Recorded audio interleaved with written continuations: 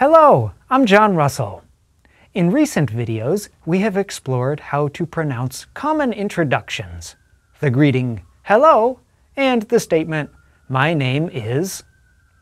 We can take what we learned in previous videos and do a technique called backwards buildup. The idea is to start at the end of the sentence and slowly add words in reverse. By doing this, we can focus on individual sounds and also improve larger elements of pronunciation. So, I will start with my name, John. Repeat after me as I say each word.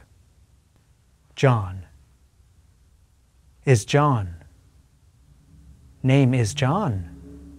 My name is John.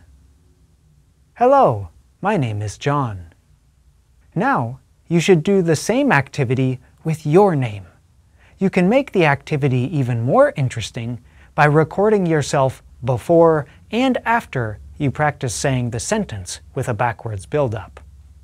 How could you do this?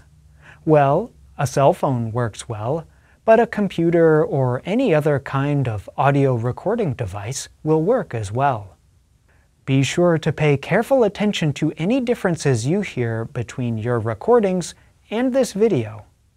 Over time, you will develop a strong sense of ways that you can improve your own pronunciation. Future videos will explore more common words and expressions. That's all for today. Keep up the good work. Don't forget to watch more of our videos at our website, learningenglish.voanews.com.